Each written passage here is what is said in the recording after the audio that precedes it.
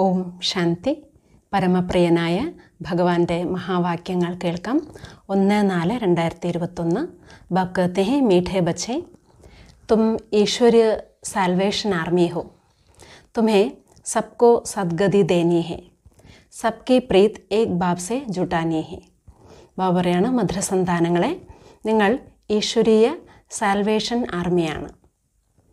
നിങ്ങൾ എന്ത് ചെയ്യണം? എല്ലാവർക്കും സദ്ഗതി നൽകണം.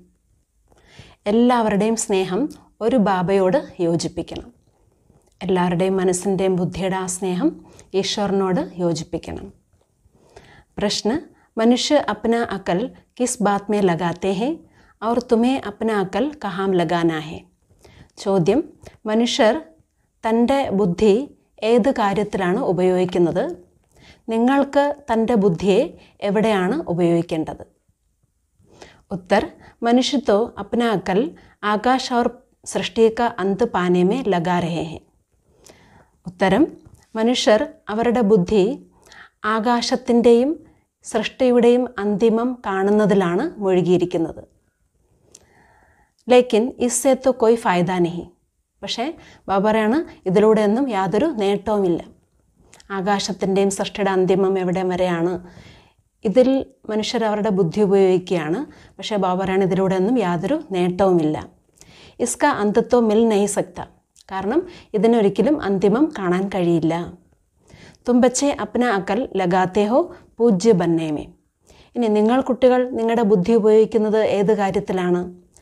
നമ്മൾ നമ്മളെ പൂജ്യനാക്കി മാറ്റുന്നത്. പൂജയ്ക്ക് യോഗ്യനാക്കി മാറ്റുന്നതിലാണ് നമ്മൾ നമ്മുടെ ബുദ്ധിയെ ഉപയോഗിക്കുന്നത്.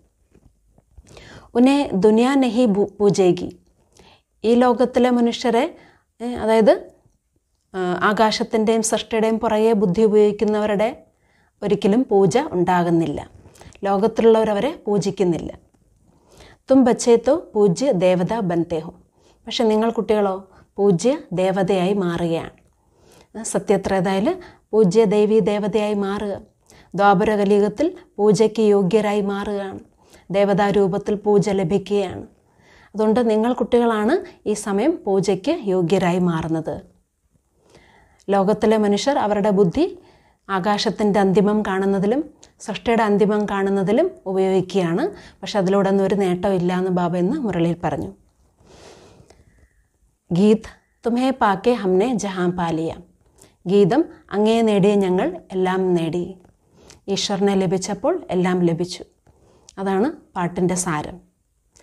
ധാരണ അവർ സബ്സെ ബുദ്ധിക്ക് പ്രീത്തോട് ഏക് ബാബ്സെ ജോഡിനേഹെ ഒന്നാമത്തെ പോയിന്റ് മറ്റെല്ലാത്തിൽ നിന്നും ബുദ്ധിയുടെ സ്നേഹം മാറ്റി ഒരു ബാബയോട് വേണം നമ്മൾ ബുദ്ധി കൊണ്ട് അത്രയും സ്നേഹിക്കാൻ.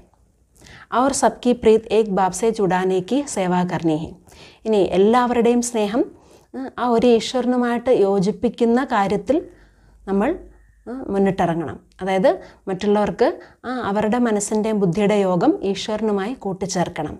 ഈ ഒരു സേവനം നമ്മൾ ചെയ്യണം. ദൂസര സച്ച സച്ച റുഹാനി ഖിദമത്കാർ ബന്നാഹെ. രണ്ടാമത്തെ പോയിന്റ് സത്യസത്യമായ ആത്മീയ സേവാധാരിയായി മാറണം. അപ്നാബി കല്യാൺ കർണാഹെ അവർ ദൂസറോ കോബി രാസ്ത ബത്താനാഹെ തന്റെയും മംഗളം ചെയ്യണം മറ്റുള്ളവർക്കും വഴി പറഞ്ഞു കൊടുക്കണം. അവസ്ഥ ബോത്ത് ഖുഷ് മിസാസ് ബനാനീഹെ.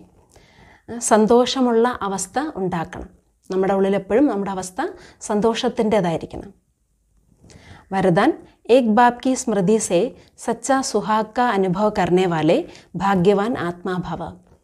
ഒന്നാമത്തെ പോയിന്റ് ഒരു ബാബയുടെ സ്മൃതിയിൽ കൂടി സത്യമായ സുമംഗലിയുടെ അനുഭവം ചെയ്യുന്ന ഭാഗ്യവാനായ ആത്മാവായി ഭവിക്കൂ.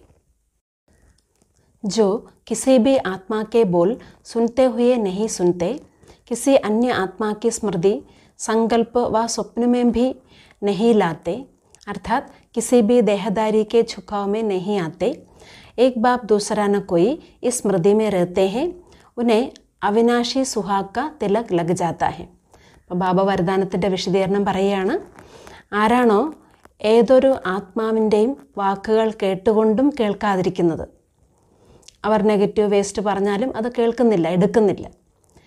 ഏതെങ്കിലും ആത്മാവിന്റെ അന്യ ആത്മാവിന്റെ സ്മൃതി സങ്കല്പത്തിലോ സ്വപ്നത്തിലോ പോലും കൊണ്ടുവരാത്തത് അർത്ഥം യാതൊരു ദേഹധാരിയിലും നമ്മളുടെ മോഹം പോകുന്നില്ല.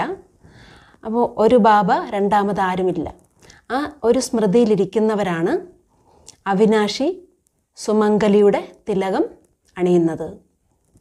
ഒരേ രണ്ടാമതാരുമില്ല ഈശ്വരൻ രണ്ടാമത് ആരുമില്ല. അവരുടെ മനസ്സും ബുദ്ധിയും വേറൊന്നിലും കുടുങ്ങുന്നില്ല. വസ്തു വ്യക്തി വൈഭവം ദേഹധാരികളിൽ ഇതിലൊന്നും കുടുങ്ങുന്നില്ല ആകർഷണത്തിൽ വരുന്നില്ല. അപ്പോൾ ബാബറാണ് അങ്ങനെയുള്ളവരുടേതാണ് അവിനാശിയായിട്ടുള്ള സൗഭാഗ്യത്തിന്റെ അല്ലെങ്കിൽ സുമംഗലിയുടെ തിലകം. അവരാണ് അണിയുന്നത്. ഐസെ സച്ചേ സുഹാഗ് വാലേഹി ഭാഗ്യവാൻ ഹെ അങ്ങനെയുള്ള സത്യമായ സുമംഗലികൾ തന്നെയാണ് ഭാഗ്യശാലികൾ. स्लोगन अपनी श्रेष्ठ स्थिति बनानी है तो अंतर्मुखी बन ഫിർ ബാഹർ മുഖതാമേ ആവോ സ്ലോഗൻ തന്റെ ശ്രേഷ്ഠ സ്ഥിതി ഉണ്ടാക്കണമെങ്കിൽ. നമ്മുടെ അവസ്ഥ നമ്മുടെ സ്റ്റേജ് അത്രയും ശ്രേഷ്ഠമാകണമെങ്കിൽ എന്ത് ചെയ്യണം? ബബരണ ആദ്യം അന്തർമുഖിയാവണം ആത്മബോധത്തിൽ ഇരുന്നു കൊണ്ട് വേണം പിന്നീട് ബാഹർ മുഖതയിലേക്ക് വരാൻ. ആത്മസ്മൃതി ഉള്ളിൽ ആദ്യം കൊടുക്കണം. എന്നിട്ട് പിന്നീട് ഇന്ദ്രിയങ്ങളെ കൊണ്ട് കർമ്മങ്ങൾ ചെയ്യിക്കണം. ആത്മാരാജ എന്നുള്ള ബോധത്തോടുകൂടി ഇന്ദ്രിയങ്ങളെ കൊണ്ട് കർമ്മം ചെയ്യിക്കണം. അതാണ് ബാബു പറഞ്ഞത്. ആദ്യം അന്തർമുഖിയായിട്ട് പിന്നീട് വേണം നിങ്ങൾ ബാഹർമുഖതയിലേക്ക് വരാൻ. അപ്പോൾ നമ്മുടെ അവസ്ഥ ശ്രേഷ്ഠമായി മാറും. നമ്മുടെ സ്ഥിതി ശ്രേഷ്ഠമാകും. ഇന്നത്തെ സമാനം ഞാൻ ആത്മ ഭാഗ്യശാലി ആത്മ. ഞാൻ ആരാണ്? ഭഗവാന്റെ സുമംഗലിയാണ്. ഞാൻ അത്രയും ഭാഗ്യശാലി ആത്മ. ഈ ഒരു സമാനത്തിൽ ശിവബാബയുടെ ഓർമ്മയിലിരിക്കാം. ശിവബാബ നമുക്ക് തന്ന സൗഭാഗ്യങ്ങൾ ഓർക്കുക. ഓം ശാന്തി.